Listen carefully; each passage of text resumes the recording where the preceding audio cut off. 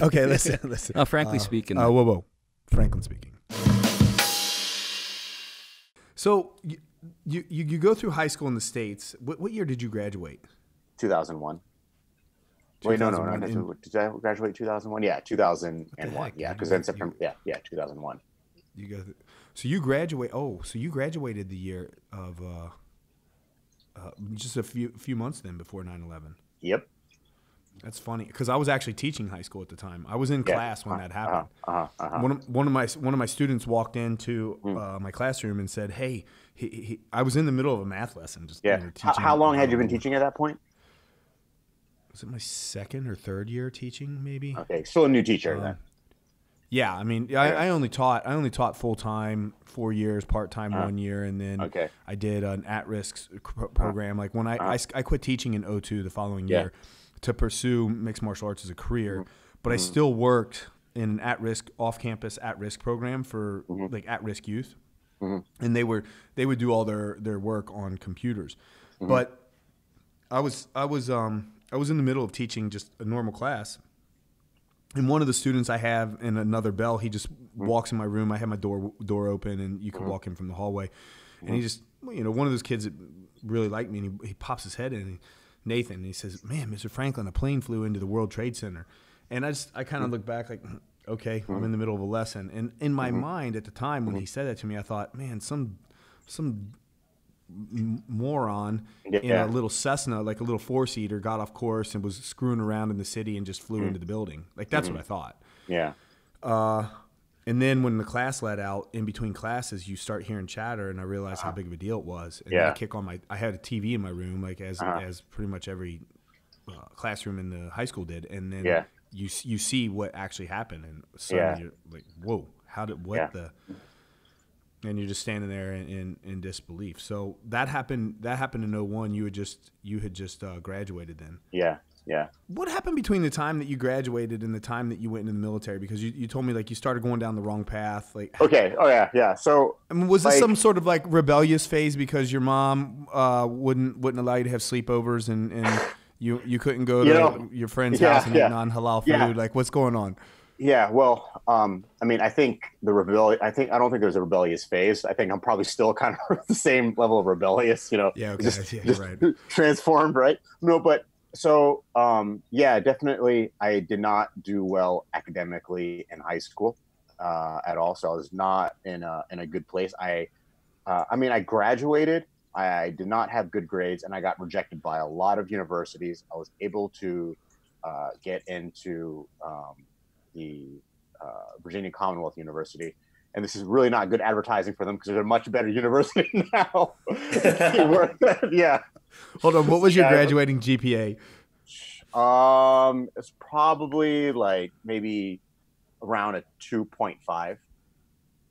Okay, it's Yeah, it's not it's not really bad, but it's not good. It's not competitive in, in any way, shape, or form. Um, so, so essentially what you're saying is Harvard turned you down.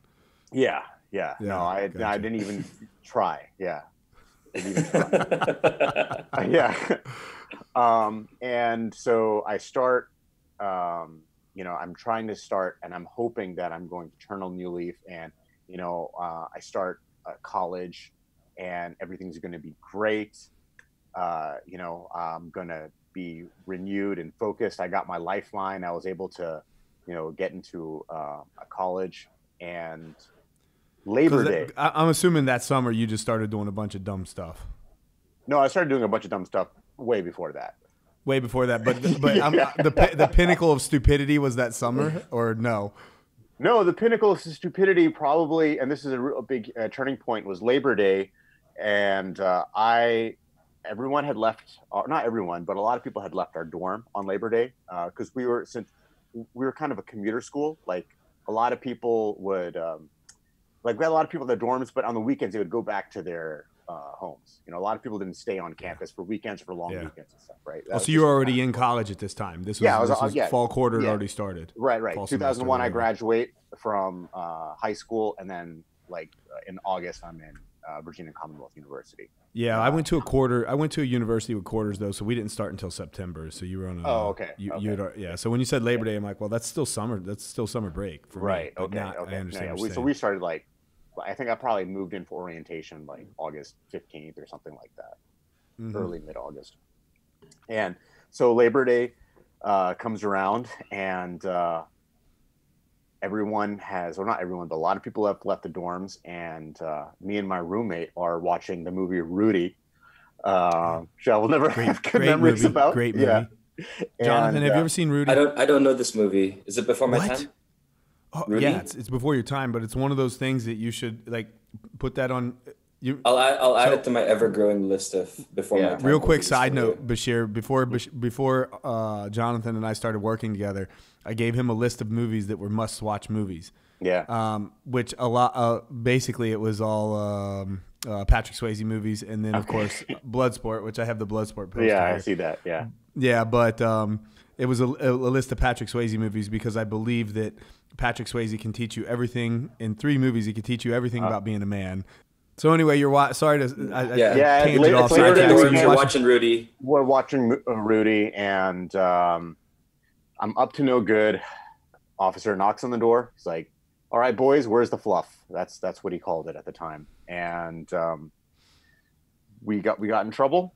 Uh, we got young officer, out- older officer, older officer. Yeah, older Yeah, officer. Yeah, yeah. No, zero tolerance with these kind of guys too. Yeah, yeah. They mean we got in trouble, and we were kicked out of the dorms. I was not kicked out of college, but I was kicked out of the dorms. And I didn't so, know that was possible. Yeah, on, yeah. So they Well- so they just wrote they just wrote you up. You didn't really get like a penalty in the. No, no, no. I had there. I had no. Uh, there was no legal uh, issue. I never had to go to court. I did not get in trouble um, in, in that way. There were no charges, um, but I violated policy of the dorms. And the dorms, I guess they were like because they were like uh, apartment buildings that the Mhm. that the university had like outsourced. I guess. Uh, so they Oh, so weren't this- official. Yeah. Yeah, so they were dorms, right? And uh, but they were they weren't like maybe dorms that the university created. They were just apartment buildings that they may have gotten. So, So, it's just anyway, a housing issue. That's it. Yeah, it was a It's housing issue. So Yeah, he so didn't they- violate any university bylaws or anything Yeah. like that. Yeah, yeah, yeah, yeah. Or or if I did, then they didn't enforce them or you know let Gotcha. it go. But I, I yeah, the, the only thing that happened is that they're like uh, you have violated the dorm um, rules uh, and you have to leave now. So um, I got kicked out of my dorm, and because I had been messing up and I'd not been doing well, I've been uh, getting into trouble for many years. Many years. I, I had been expelled from school before, like years before. Uh, lot of, of stuff. Yeah. You think this has anything to do with why you weren't allowed to have sleepovers? Because you, you've painted your mother out to be this villain now. Your mom. no, dad, no, no, no, don't say that. Yeah, yeah. Pakistani not. villains, Yeah, right? Yeah, yeah no, no. I, I don't know. I, I think uh, it's very possible I was just rebellious by nature. Who knows? It's one nature Yeah. versus nurture things. You know, was it my environment? Was it me? I don't know. Right. Um, Well, that's what that's what happens. Like, I guess that's what happens. It, it, it becomes easier to drift into that when you're a, a third culture kid. maybe. Yeah, yeah, yeah. maybe. So, Maybe. so anyway, hold on. We, we can talk more about that in a minute. So Yeah. keep keep going with the story. So you get kicked out of the dorm. This police officer. I get we get kicked out of the dorms, and um, you know because I had been like messing up for so long, and I thought this was going to be like my new year. Um, I I didn't tell my parents right about what happened, and now I don't have a place to live, right? So for the first like week or so, week or ten days, uh, what I would do is me and my my roommate Ray, uh, we would um, come back to the dorms and like stay at somebody else's room, right? But Oh, wow. then like after a week or so of that, they're like, you can't even be here. No, you got to go. Like, you're not even allowed on the premises. And we're just like, okay, now what do we do? So then what we did, we started, we had a couple friends who lived uh, like off campus or like not in student housing. And so we would crash at their place. And that lasted for like two weeks or so. And then we started like, man, we're kind of wearing out our welcome here. You know, like, what are we to, would do. You know, we, we can't we can't spend the next three months, you know, crashing that. This like they weren't like close friends of ours or anything like. They just like you know kind of knew them. And so what happened is that then we started staying in my uh, friend's car, uh, at in the, the school parking lot, um, and uh, we started sleeping. I, I slept in the back seat. Uh, No, I slept underneath a pile of laundry in the in the trunk. He had a station wagon. It's a really old station Oh, wagon. okay. Yeah. Yeah, yeah. And I Well, started how sleeping- convenient. I know how convenient, right? Yeah. And, and his, his car The then back broke seats down. fold. The back seats fold down. No, he's. I think he's. No, not not fold. It did fold down, but I don't think I folded it down. I was just in like the trunk area underneath Yeah. a pile of laundry, Mhm. and um, he he would put his like the front seat all the way back, like to his Yeah. like reclining, and then sleep there. And um, we we did this for a while, and I now distinctly remember the feeling of the sun coming up and it getting hot in the car, right? Mm. And uh, waking up, you know, to because his car had broken down actually in the parking lot. It was like one of those like tiered parking garages. It was on the Yeah. it was on the top Mhm. or like the second. But it had- from the top. Also, also, it's just stuck there. Yeah, yeah, it's stuck there. Oh crap! And, and Yeah. hold on. So this is probably what I mean. It's not getting cold yet outside. No, no, no. No, okay, But but I still- remember it would get. I remember it would get kind of cold uh, at night. at night, But then in, yeah. like in the morning, like it would get hot again just Yeah. because we're in a car. And uh, and that's why I was sleeping underneath a pile of laundry, you know, keep me kind of warm, you know. And I remember then like waking up underneath this pile of laundry, feeling like really hot and warm, and then seeing a bunch of because at night there'd be no cars, right? But then in the morning people would be driving up to go to class, and here I am like waking up in this trunk of a station wagon, opening the back of the station wagon, like getting out and be like, yeah, all right, uh, start my morning now. And we did that for a while. And um, So you were still going to shower- How did classes? you shower? How did you? You were still going to classes. yeah, I was still going to classes. How did I shower? So we still had access to like the gym. We still had access to the library Yeah, and stuff like that, right? So Yeah. I was I was still able to like I, I still had my um I still could go to the cafeteria and stuff. So all, all Were your what I parents paying tuition? Yeah, yeah, and and that kind of brings me And to the next part of housing. the story too. Yeah, and, and housing. Yeah, and, and that, that's actually kind of what led me to the army as well, just because the army then began footing the bill, and I was like, okay, I can't, you know, I I, I want to take responsibility for for all this. You know, if I'm going to screw up, I'm going to be paying the bills for it. Oh wow. Yeah. So um, after I don't know two weeks to a month of this, you know, and, and it's getting progressively colder as well. Um, you know, one night my my friend um, he goes back to the car to go to sleep, and I'm like hanging out, and I go back to the car, and there's like, you know, uh, nobody there, and like there's something wrong. And the next day I see uh, I see Ray, and he's like, man. Um, something you won't believe what happened last night. I'm like, well, what happened? He's like, I'm, I'm sleeping. And then all of a sudden there's a flashlight in my face. And I hear a knock on the door. And it's the same police officer who busted Oh. us in the doors. Oh, Yeah, the same guy. And he's like, I'm sur- I see all these flashing lights. You know, I don't know. I don't know what they thought or why someone called in the police uh, for whatever reason. But a couple of cop cars came and he's like, man, you can't sleep here. It's not allowed. Okay, hold on. And- let me let me get this straight. First of all, there's a broken down station wagon on top of a garage and Yeah. a, a bearded Pakistani fellow, and this is Yeah. just post 9/11, and you really don't know why somebody called the police. I wasn't there though. I wasn't at the car at the time. Uh, yeah, yeah, but you had been seen getting out of the car numerous times, I'm sure. It's possible. Yeah, absolutely. Yeah. I never thought about that. Yeah, I never thought about that. It's totally possible. He's been scratching his head about this for the last 20 almost years. 20 years. Yeah. he finally put two and two together, man. Yeah. Just like that. Um, so yeah, so now we can't even go back to the station wagon, and so at this point, it's uh, it gets really rough. And like at night, so we started then hanging out with the homeless people to kind of learn like the tricks of the trade and like you know um, and what to do, right? And we became actually quite uh, immersed in the uh, homeless culture of that area of uh, uh, of Richmond by Grace Street, and uh, that that that goes on for like uh, about another month, and then the semester ends, and uh, I have um, pretty much failed most of my classes. I was going to say, how were your grades? yeah, I've, I've What- failed, failed most of my classes, and still, you your know, parents don't know about any of this.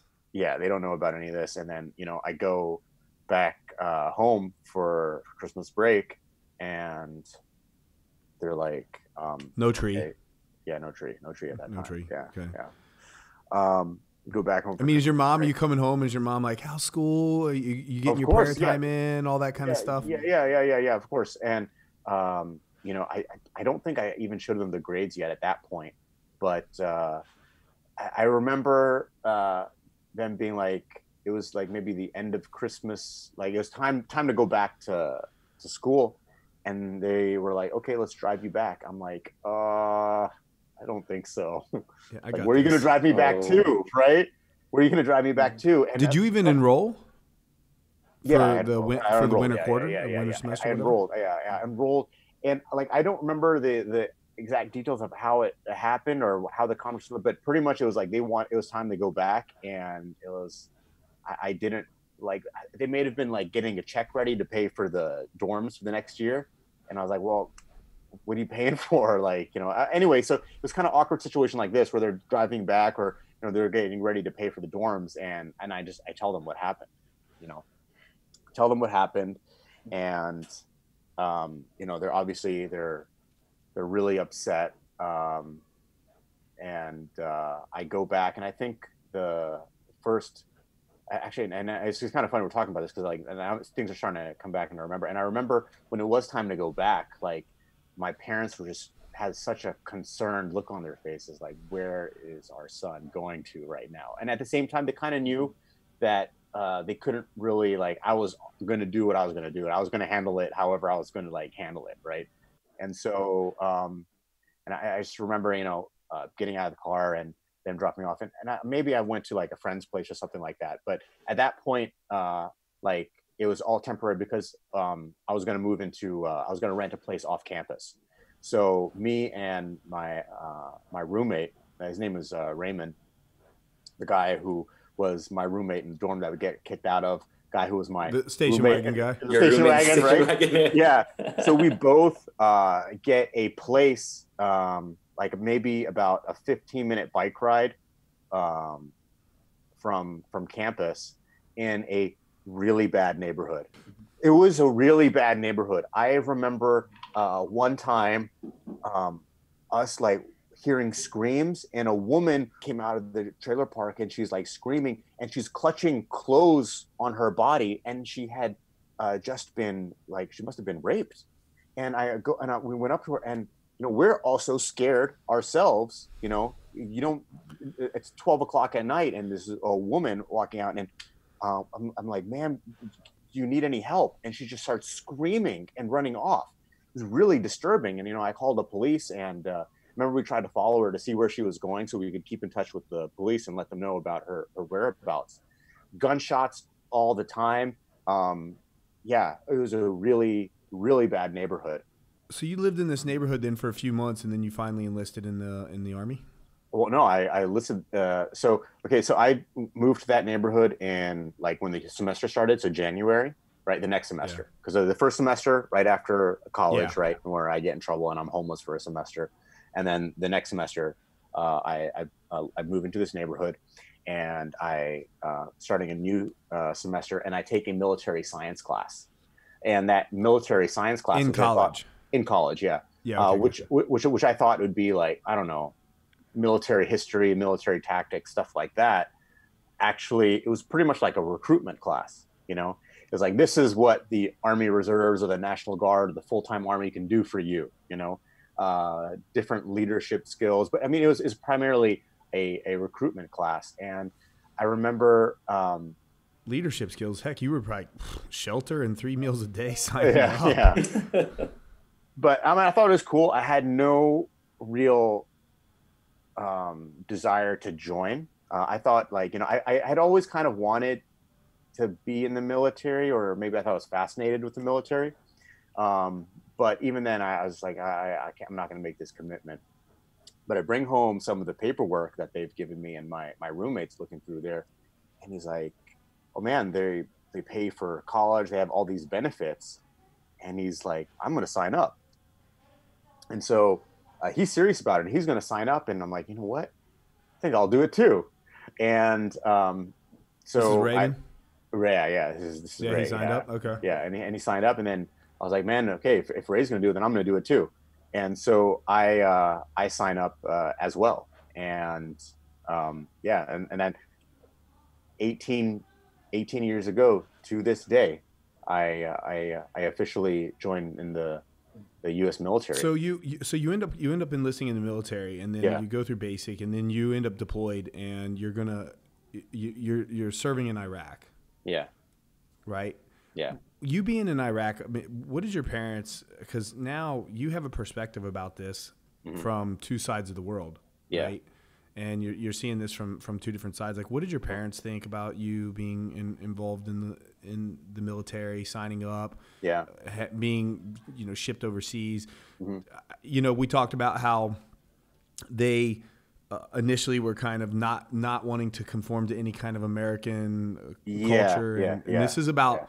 I mean, I don't know. You know, enlisting in the military is about as American as you can yeah. can get, really, right? And so, yeah.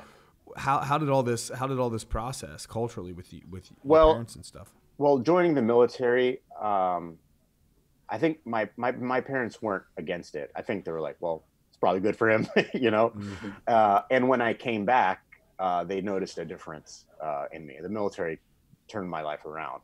On After basic, or you mean after your deployment and everything? after after basic, yeah, after after training, yeah, gotcha. yeah, turned my- turned my life around. Like, because uh, I joined up as a as a medic, and like my my whole life, I've been like every teacher's been like, oh, he doesn't live up to his potential, you know, doesn't live up to his potential, and then I'm putting in a put in a situation where I mean, uh, not everyone can go to to medical training or for not to, to combat medic school in the military. You have to have a certain score on the the ASVAB.